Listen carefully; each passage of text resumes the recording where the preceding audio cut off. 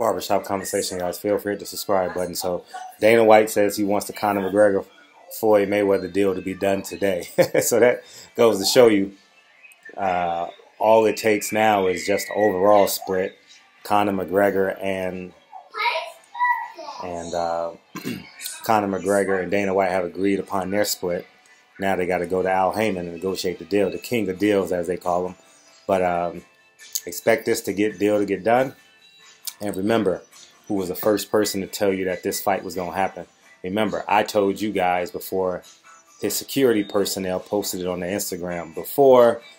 I mean, so many people, but you know, I won't get the credit I deserve, and I'll get a fake news comment every here and there. And but anyways, man, barbershop conversations. Feel free to subscribe, but and follow me on Instagram, Silent Heroes, S I L E N T H E R O S.